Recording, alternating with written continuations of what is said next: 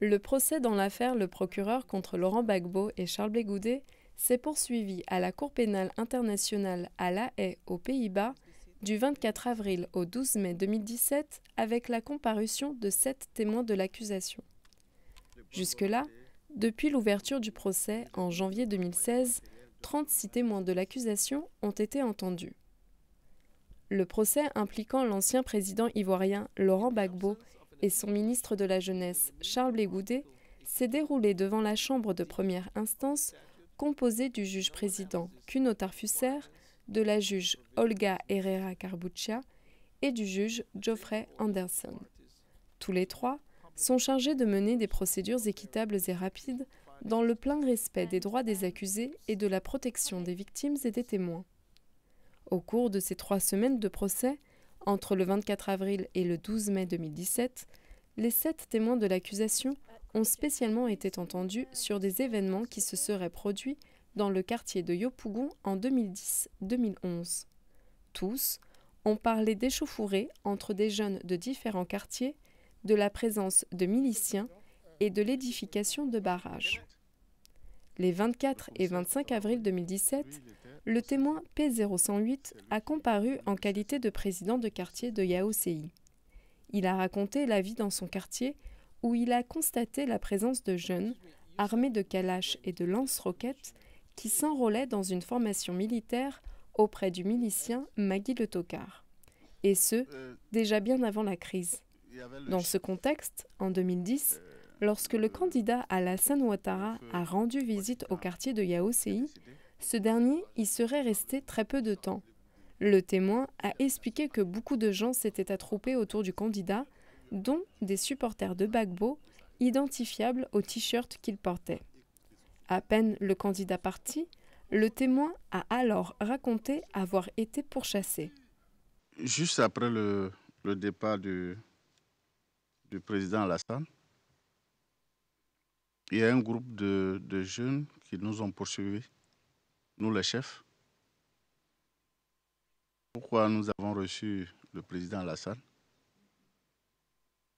Alors nous sommes allés vers la, la police. Et c'est en ce moment-là que bon ben, on a eu protection. Puis après, nous sommes rentrés à la maison. Qui étaient ces gens qui voulaient savoir pourquoi vous avez reçu M. Ouattara? Bon, c'était les supporters de M. Boabo. Le 26 avril 2017, M. Oku Traoré a comparu en qualité de président du comité de gestion de la mosquée Sikoji Lem. Il a, pour l'essentiel, témoigné du jour où la mosquée a été incendiée, le 25 février 2011, date avancée par le bureau du procureur. Ce matin-là, il a raconté avoir été présent en face de la mosquée lorsqu'il a été choqué de constater que des jeunes du quartier de Yaoséi arrêtaient des véhicules pour fouiller leurs passagers et prendre leurs portables. Plus tard, il a dit avoir assisté à des jets de pierre entre les jeunes du quartier de Yaoséi et les jeunes de Doukouré. C'est ainsi qu'il a expliqué s'être rendu chez lui pour y trouver refuge et rejoindre les membres de sa famille.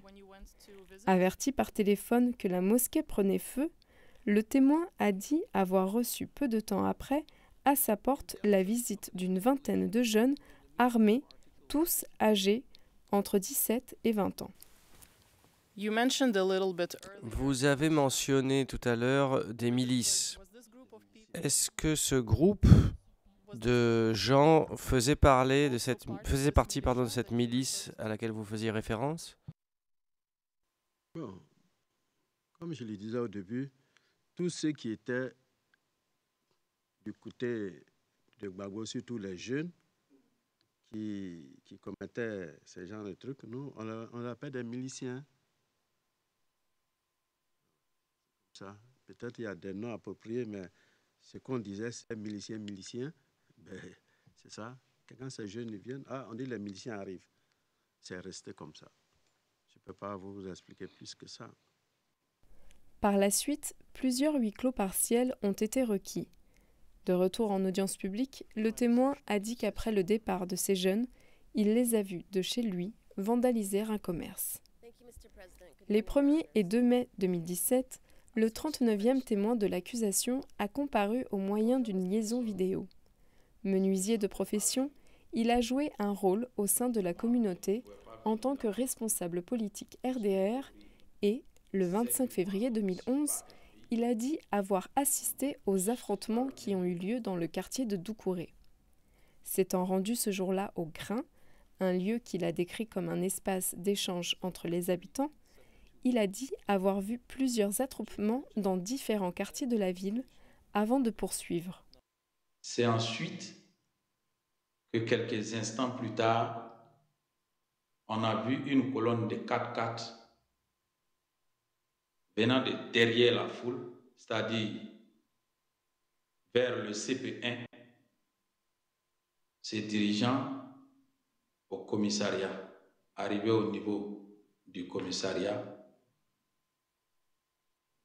les 4x4 sont rentrés dans la cour de la police. Euh, les gens scandaient général, général, général. En ce moment-là, c'est Charles Bleu que tout le monde appelait général. Quand on a entendu général, général, général, à côté du cortège, il y a un groupe qui courait. On a tout de suite compris que c'était Bleu qui venait. Avant ça,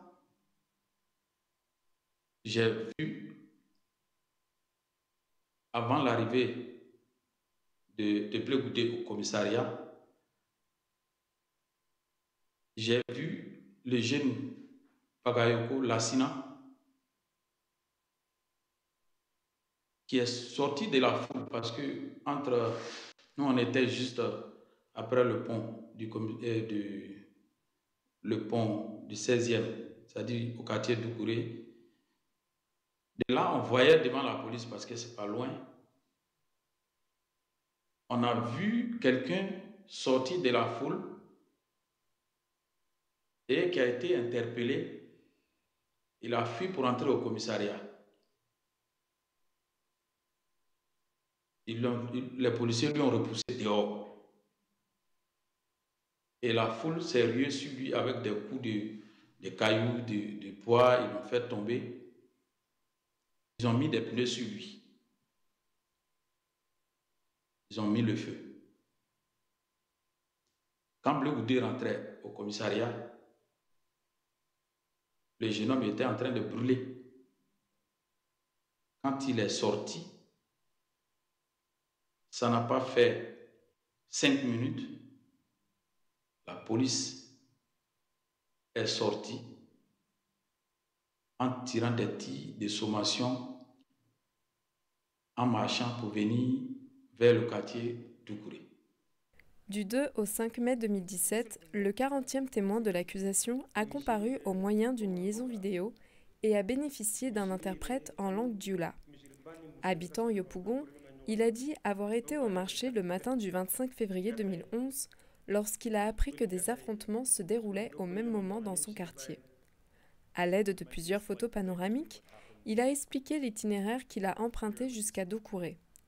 Arrivé au parking face à la mosquée, il a dit avoir été informé par une femme baoulée qu'un de ses parents avait été tué et brûlé un peu plus loin. Se rendant sur les lieux pour retrouver le corps, le témoin a dit avoir reconnu le cadavre par rapport à deux éléments, la taille du corps et les vêtements apposés sur le côté. Son jean qu'il avait porté, la femme m'a dit que ils ont tiré le jean, ils l'ont déchiré, une partie a été enlevée. Ensuite, ils l'ont frappé, ils l'ont mis à terre. Le jean, le était juste à côté. Et j'ai vu les formes, il y avait du, du sang, et euh, c'est ainsi que j'ai trouvé le jean, dans cet état que j'ai vu le jean qu'il portait. Sur autorisation de la Chambre, les représentants légaux des victimes ont pu poser des questions à certains témoins quant à l'impact que les événements de la crise ont eu dans leur vie. Pour le 40e témoin de l'accusation, il a parlé de l'impact psychologique.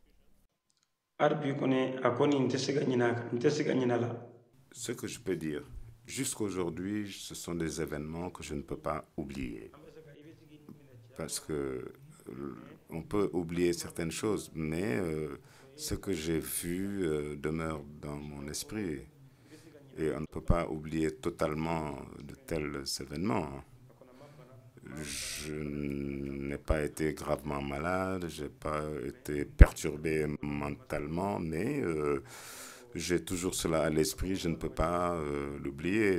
J'ai vu le corps de mon frère. Je pense que jusqu'à ma mort, je ne pourrai pas oublier ce jour-là, je ne peux pas oublier euh, son cadavre que j'ai vu, je ne pourrai jamais le faire. Les 5 et 8 mai 2017, M. Mamadou Fadiga a comparu en tant que militant et responsable RDR au moment des faits. Il a témoigné de ce qu'il a vu le 25 février 2011, jour où, a-t-il dit, tout a commencé à Yopougon. Ce matin-là, il a expliqué avoir été au grain lorsqu'il a entendu plusieurs tirs. Alors qu'il regardait ce qui se passait en contre-pied dans le quartier, deux membres du grain ont quitté les lieux, dont Ahmed Niakate, qui voulait tenter de retrouver sa femme à son domicile. Or, sur la route, le témoin a vu qu'Ahmed Niakate avait été pris à partie. Ahmed a eu peur, il a pris peur. Il a voulu fuir pour revenir vers le grain. Donc, euh, il a fui. Il a pu traverser la voie, mais arrivé au niveau du bâtiment de l'ancien impôt, il y a un jeune qui l'a saisi la base. Un jeune qui se faisait passer pour un réparateur du portable. Enfin, c'est un réparateur du portable en ce moment-là. C'est l'activité qu'il exerçait, mais il connaissait Ahmed. C'est lui qui a saisi Ahmed. Et puis, il lui a fait les poches. Les gens sont venus et ils ont commencé à le lyncher. Il est mort d'une mort atroce mort atroce. Ils ont été sans pitié pour lui. Hein. Ils l'ont battu avec tout ce qui leur tombait sous la main. Il est tombé. On lui a enseigné un coup de bourdin à la nuque et tout ça, il est tombé. Ils se sont acharnés sur lui. À un certain moment, il y a un monsieur qui est arrivé qui était dans une tenue que les militaires portent euh, une tenue bleu marine. La pilote est bleu marine. Le haut aussi est bleu marine, mais manche courte. Bon, habituellement, on appelle ça les tenues de corvée. C'est le nom qu'ils donnent à ces tenues-là. Lui, il est venu, lui, il avait une arme. Et au moment où ils étaient en train de le battre, il est arrivé. Et la foule a dit c'est un assaillant, c'est un assaillant. Et lui, il lui a tiré un coup de feu. Étant au sol, il lui a tiré un coup de feu. Et il y a un autre jeune qui a pris, qui a pris un morceau de brique pour, pour le taper sur la tête. Du 10 au 12 mai, M. Touré Ndathieu Bertin a comparu en qualité d'ancien chef de service de police du commissariat du 16e arrondissement à Yopougon. En vertu de la règle 74 qui l'autorise à être conseillé en cas d'auto-incrimination, le témoin a été accompagné d'un avocat, maître Magali Pirard. Dès le début de sa déposition, le témoin a raconté un événement qui s'est produit au siège du RDR de Yopougon-Ouassakara. Il a dit avoir été un jour appelé par son supérieur hiérarchique pour se rendre sur les lieux car une opération de distribution d'armes pourrait être en train de s'y dérouler. Est-ce que vous avez vu quelque chose euh, alors que vous vous approchiez euh, du siège? Oui, à l'entrée du siège, on a vu euh, trois corps. trois corps d'êtres humains qui étaient étendus là, qui baignaient dans des mares de sang. Et nous sommes rentrés à l'intérieur du siège du RDR où on a dénombré encore d'autres corps. Au total, il y avait environ neuf morts par balle et environ 14 blessés par balle également. Ainsi, le témoin a expliqué qu'il ne s'agissait ni de distribution d'armes, ni d'échange de tirs, comme la presse l'a indiqué dès le lendemain. Il a dit avoir pris des photos et des vidéos de la scène de crime qu'il a considérées de carnage, mais les avoir par la suite effacées. À savoir pourquoi, le témoin a répondu qu'il y avait une volonté manifeste de tronquer les faits. D'après les témoignages recueillis sur place, il a également désigné les gendarmes de Yopougon comme les auteurs de ces crimes. Pour autant, il a déclaré n'avoir entendu parler d'aucune enquête diligentée à l'encontre de la gendarmerie. Confronté par la suite à différents rapports datés de février 2011, évoquant entre autres l'édification de barrages, le témoin a désigné les jeunes patriotes comme ceux qui en avaient érigé sur la voie publique, et ce, juste après l'appel lancé par Charles Blégoudet. Il faut dire qu'à l'époque, M. Blégoudet était beaucoup écouté. Donc, quand il lançait ce genre d'appel, c'est pratiquement le lendemain qu'on voyait ce genre de barrage. Je ne me souviens plus du jour où il a lancé cet appel, mais toujours est-il que lorsqu'on arrivait au 25 février, il y avait plus de huit personnes qui avaient été tuées à ces barrages-là, pour la plupart C'est-à-dire, euh, on lynche la personne, qu'on brûle ensuite, ou bien même souvent la personne est vivante, on la brûle vive. donc, euh, nous avons estimé qu'il fallait qu'on fasse quelque chose. Face à ce constat, le témoin a dit avoir eu l'idée de demander à Charles Bégoudet de dire aux jeunes de cesser d'ériger des barrages. Mais lorsque son supérieur a rencontré Charles Bégoudet à ce sujet, le témoin a dit que cela avait abouti à un échec. Plus tard, interrogé au sujet de Maggie Le Tocard, le témoin a confirmé l'avoir vu, avec pas moins de 200 jeunes, faire du footing dans l'enceinte même du commissariat. Il a ajouté que ces derniers possédaient les mêmes armes que la police et que, d'après des témoignages, ils procédaient également à des opérations policières. Comment se fait-il que Maggie Le Tocard et son groupe avaient le, pouvoir euh, d'interpeller des gens et de les remettre ainsi aux mains de la police? Je vous ai dit tout à l'heure qu'on baignait dans une atmosphère d'impunité. Sinon, en temps normal, à l'heure actuelle, ce genre de phénomène n'est pas possible. Alors là, pas du tout. Parce que les consignes sont claires. Pas d'impunité. Celui qui commet un acte, il est délictuel ou criminel, il est arrêté et présenté devant le juge. Mais à l'époque,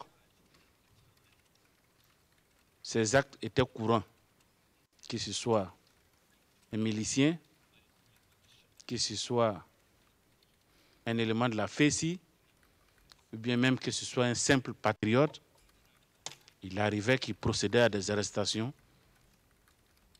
que souvent il nous les envoyait, ou bien il les traitait eux-mêmes. C'était l'impunité généralisée.